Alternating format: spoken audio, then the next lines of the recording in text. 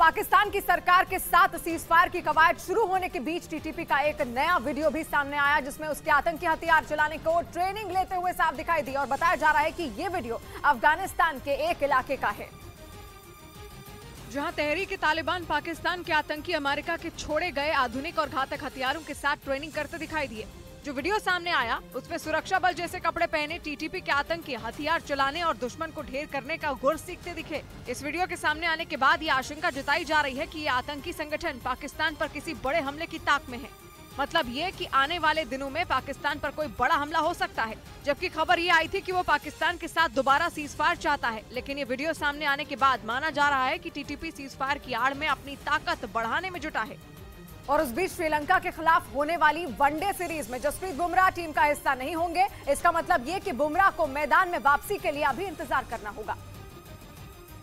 जिसकी वजह बुमराह की फिटनेस को माना जा रहा है। चोट के बाद टीम इंडिया में तेज गेंदबाज बुमराह की वापसी की उम्मीद थी। पहले उन्हें टीम में शामिल भी किया गया, लेकिन बाद में बाहर कर दिया गया। गुवाहाटी में 10 जनवरी से भारत और श्रीलंका के बीच वनडे सीरीज़ का पहला मैच होगा।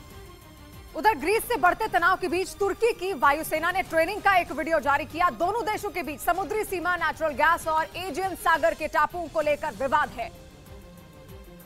जिसकी वजह से तुर्की और ग्रीस के बीच कई बार युद्ध जैसे हालात तक बन चुके हैं।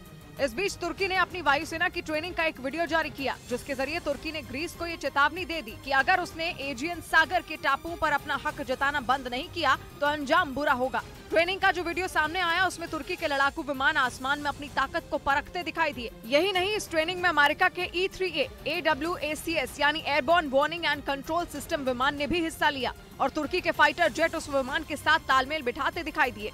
इससे पहले भी तुर्की ने अपने सैनिकों के ट्रेनिंग का वीडियो जारी किया था। रूस ने जंग में अब तक का सबसे बड़ा दावा किया है और दावे ये कि उसकी सेना ने डोनेस्क के क्रामतोरस्क शहर में यूक्रेन के 600 सैनिकों को मार गिराया। इसे पुतिन का सबसे बड़ा बदला अब तक बताया जा रहा है, क्योंकि इस साल के शुरुआत में ही यूक्रेन ने नवासी रूसी सैनिकों को मार गिराया था।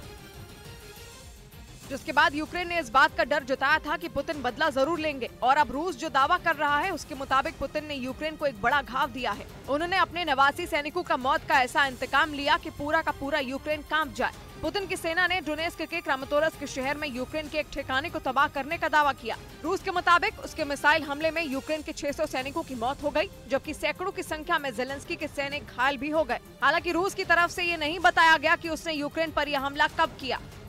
और न ही क्रमतोरस्क में यूक्रेन के ठिकाने पर हमले का कोई वीडियो सामने आया, लेकिन रूस ने दावा किया कि उसने यूक्रेन के 600 सैनिकों को मार गिराया है। और इसके लिए उसकी सेना के खुफिया विभाग ने यूक्रेन के ठिकाने के बारे में सटीक जानकारी दी थी। जिसकी मदद से रूस ने मिसाइल हमला किया और उस इमारत को उड़ा दिया जिसमें यूक्रेन के सैनिक रह रहे थे। रूस के मुताबिक क्रमतोरस के शहर में यूक्रेन ने दो इमारतों में अपने सैनिकों को रखा था। इन इमारतों में यूक्रेन ने बड़ी संख्या में हथियार भी रखे थे। रूस ने दावा किया कि उन दोनों इमारतों में यूक्रेन के 1300 सैनिक मौजूद थे।